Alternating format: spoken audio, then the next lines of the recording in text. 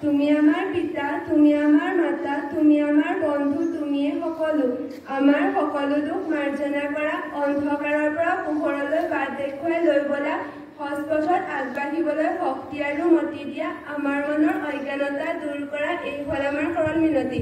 সেয়ে অনন্তপলীয়া প্ৰভু পৰমেশ্বৰ যাক আমি সদায় মহান বুলি জানো আৰু যিজনাৰ ওচৰতে পৰিদৃশ্যমান পৃথিৱী ভাগ্যভাৰ নিৰ্ভৰ কৰিছে। তেওঁৰ ওচৰতে সৰল প্ৰাৰ্থনা জনাইছো